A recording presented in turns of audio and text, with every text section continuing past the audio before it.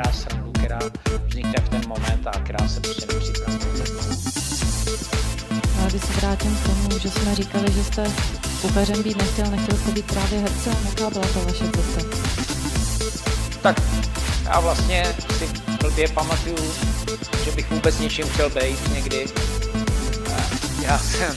Takže nedělat nic nejlépe. já jsem asi jako, vím, že, vím, že jsem chtěl být trošku nějakého exhibicionismu tam asi je, protože já jsem chtěl být roková jako hvězda, muzikantem jsem chtěl být, pak jsem chtěl být profesionálním sportovcem, že jo, tak jakož jsem ročník 19, kolik tak nechci říct, tak, eh, ale to 20 ještě tak, eh, tak eh, samozřejmě jakoby tam ani jední druhý věci nic moc nepřálo, tak jako, když už bylo jasný, že rocker nebude, tak máma říkala, zalez si do kuchyně, tam je teplo a budeš mít a to bude dobrý. Tak, tak najednou z toho byla jasná volba.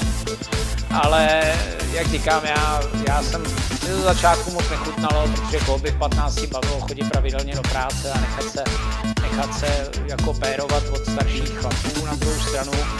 Ten svět jako vždycky je takový jakoby cool, jako vlastně mi to přišlo hrozně, když jsem byl mladý, mi to přišlo super, že, že tam ty kuchaři, jsem tam se, jsem tam pili pivo a vládli tam takový volný, eh, jakoby sexuální vztahy a, a, a mravy a, a docházelo tam k různým dotykům a, a, a plácáváním a tohle, což samozřejmě dneska by zatočil člověk do kriminálu na 20 let, ale, ale v té době to prostě takhle nebylo a, a jako protože jsem si říkal, že když budu umět to maso ukolit správně, jako ten pan Čalou, že jo, který byl ten největší zviňák tam ze všech, tak, eh, takže budu moct dělat stejné věci, tak jsem u toho zůstal.